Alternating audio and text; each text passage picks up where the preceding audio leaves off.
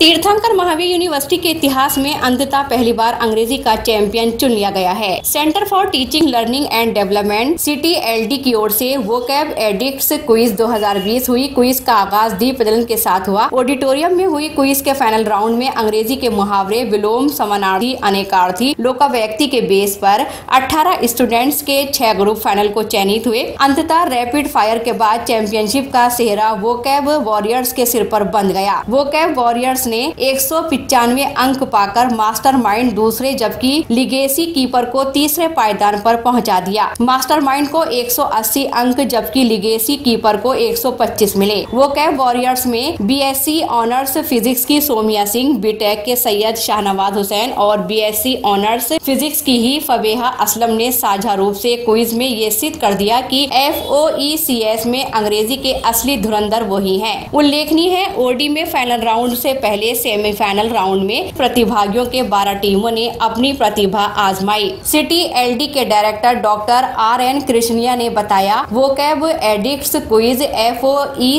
के बाद यूनिवर्सिटी के हर कॉलेज में होगी। अंत में कार्यवाहक वीसी प्रोफेसर रघुवीर सिंह ने बतौर मुख्य अतिथि सभी विजेताओं को ट्रॉफी और सर्टिफिकेट प्रदान किए। इस मौके पर रजिस्ट्रार डॉक्टर विवेक रमन के अलावा सिटी एलडी के निदेशक doctor R N Krishnia, F O E C S के निदेशक professor R K Dwivedi, paramedical के vice principal doctor Navneet Kumar की उल्लेखनीय मौजूदगी रही। क्विज में coordinators Ashish Agarwal, Jasmine Stephen, Dilip Wachhade के अलावा सुकन्या रघुवंशी, सौम्या सूद आदि मौजूद रहे। क्विज का संचालन जैस्मीन स्टीफन ने किया। क्विज का सेकंड प्राइज एफ़ की दिया शर्मा, साक्षी नीलम सैनी तो। वहीं थर्ड प्राइज बीएससी मैथ की तूबा नूर, मानसी चौधरी और अमित कुमार की झोली में गया। क्विज के फाइनल में spelling bee one third substitution idioms और रैपिड फायर जैसे राउंड्स हुए, जिसके आधार पर टॉप थ्री का चयन हुआ। गौरतलब है कि रैपिड फायर में एक मिनट में दस सवालों के जवाब पूछे गए। रैपिड फायर के दौरान तीन समानार्थी, तीन एकार्थी,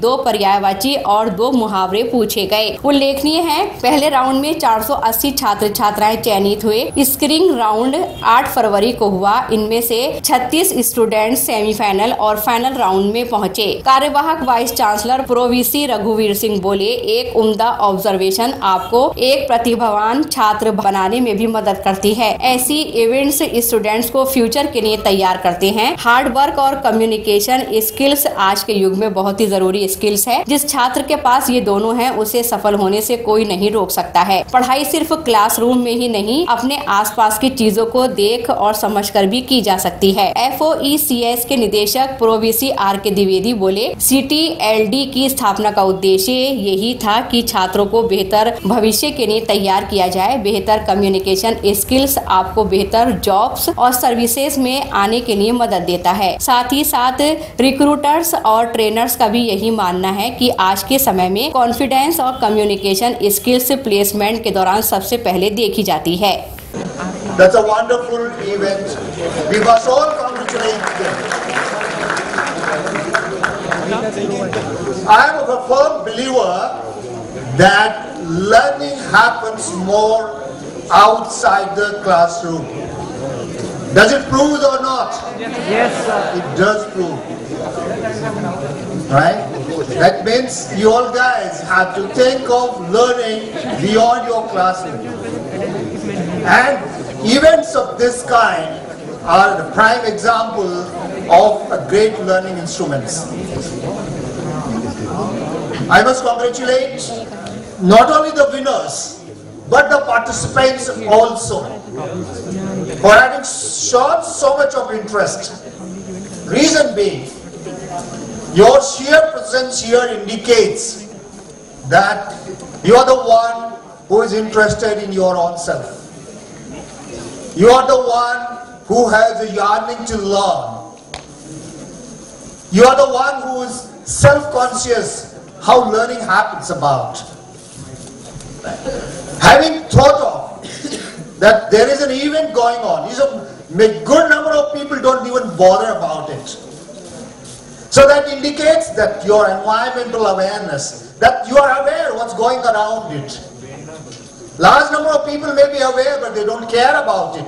So you are the one who has taken initiative to take part into it and to be a participant into it. Now that's a good example of a good learner. And I, I can vouch that if you continue this kind of habit, you would be far more lifelong better learner than just sitting back somewhere else, chit-chatting, gossiping and spending and rather wasting your time somewhere else.